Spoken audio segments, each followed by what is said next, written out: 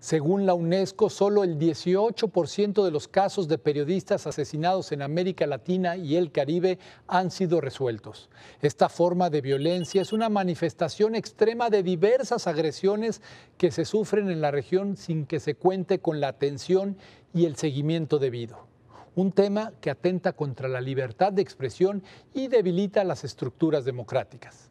Es el tema de estudio doctoral de la periodista Marisol Cano.